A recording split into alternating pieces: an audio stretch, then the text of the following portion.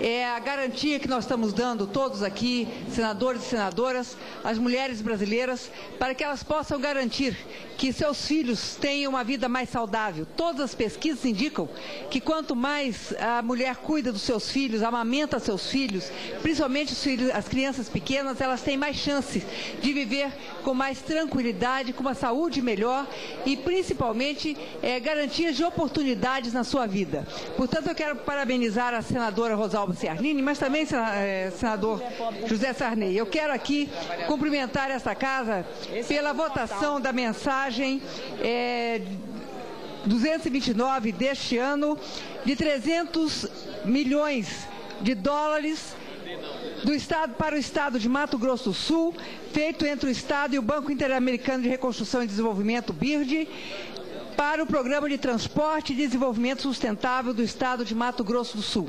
Isso é sumamente importante para o Estado. O governador André Putinelli fez um esforço enorme para que fosse votado hoje também, que viesse para essa casa e pudesse ser votado hoje.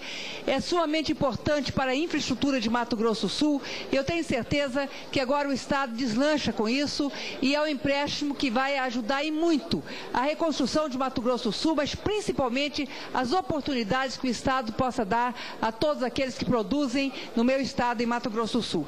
E, além disso, senhor presidente, gostaria também que constasse em ata as votações anteriores, é, que eu não estava presente, que votei de acordo com o meu partido. Muito obrigada.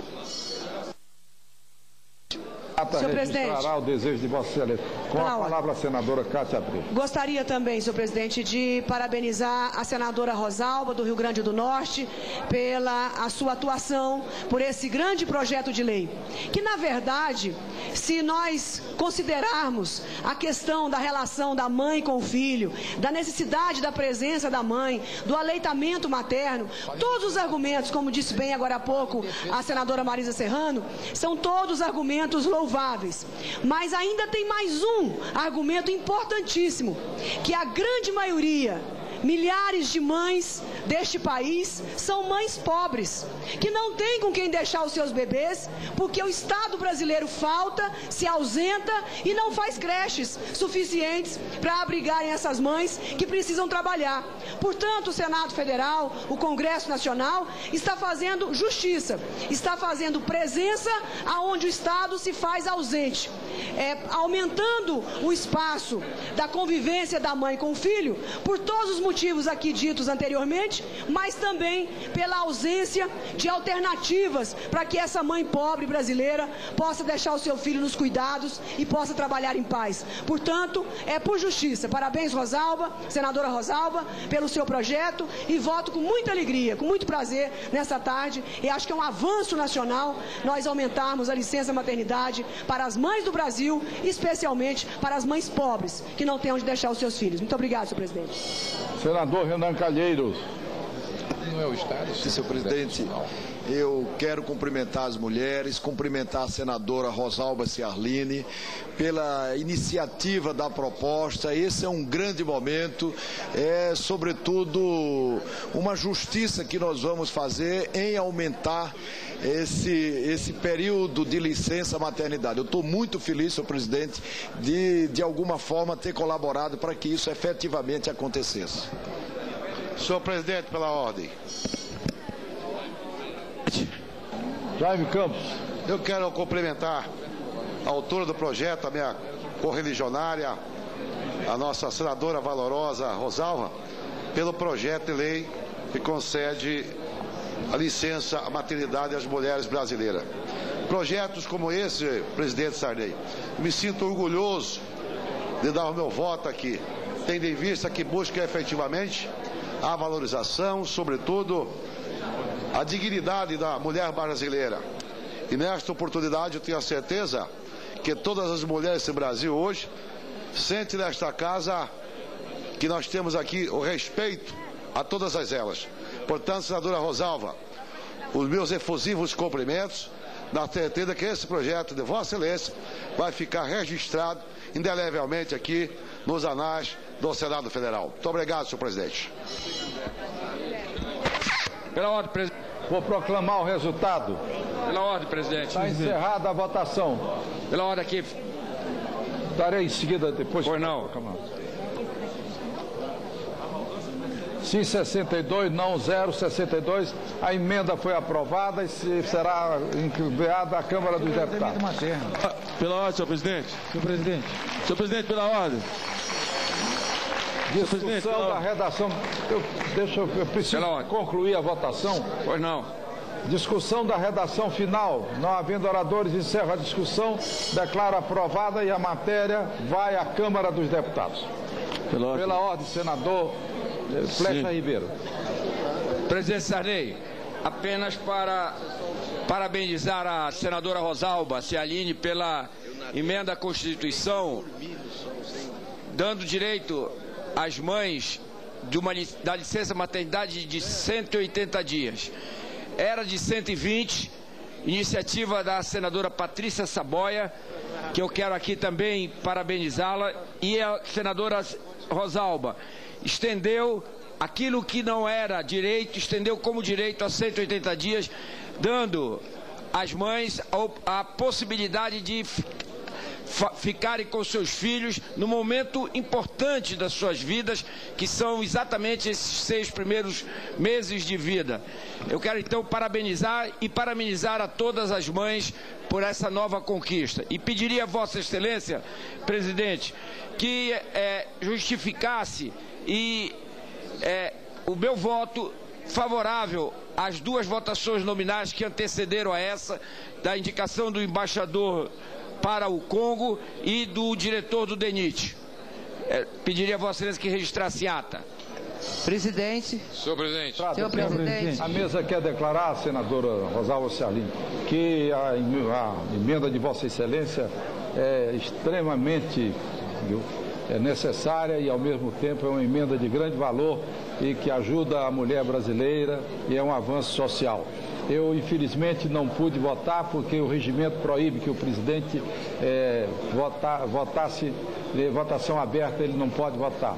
Mas, como os demais senadores que se manifestaram, eu, senão a votação seria 63 quando na realidade foi 62 votos.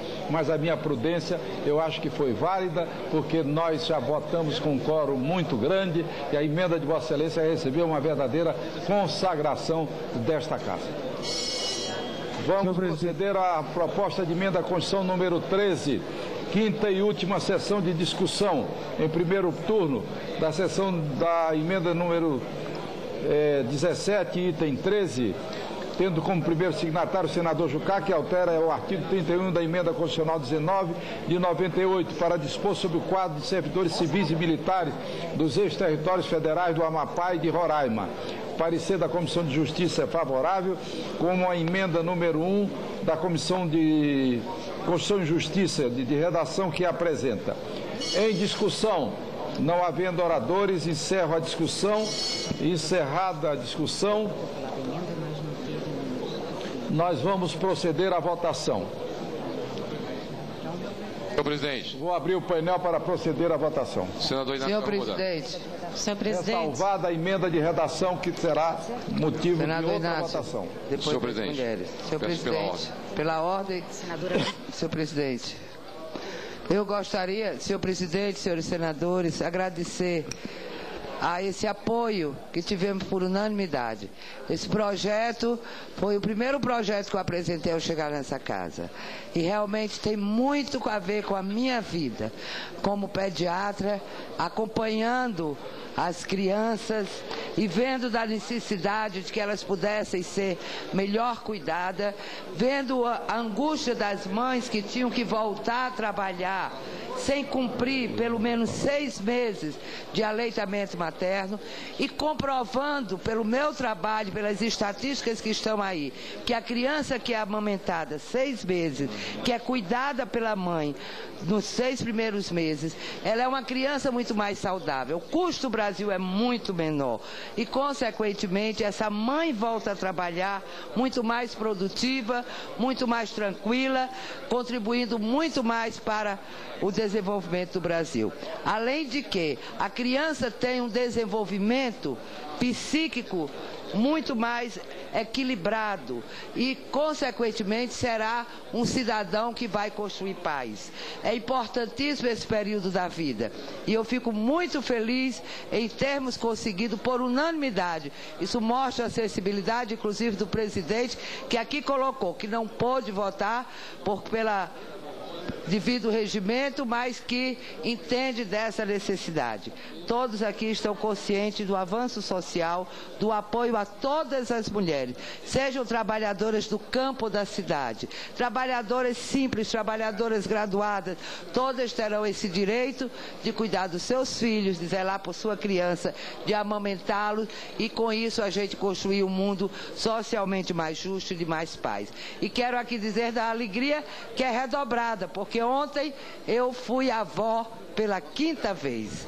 Então, foi um presente grande que vocês me deram.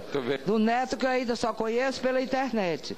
Porque nasceu distante, como eu estou participando de uma campanha política, é a filha que mora na Alemanha está fazendo lá um doutorado, casou com um médico alemão, faz nove anos que mora lá, é o segundo filho dela, mas esse foi o primeiro neto que eu não fui a pediatra na hora de nascer. Mas muito em breve eu espero, logo que passe o período da eleição, passar um bom tempo curtindo e paparicando bem esse neto, que eu sou uma avó coruja. Então, em homenagem a todas as mulheres, que eu quero hoje dizer desse dia que é importante. E torcendo que em breve nós estejamos já com esse direito, todas as mulheres poderem ficar mais com seus filhos. E os pais, os avós, se sentirem mais tranquilos também com a segurança de que seus filhos e seus netos estão mais bem cuidados.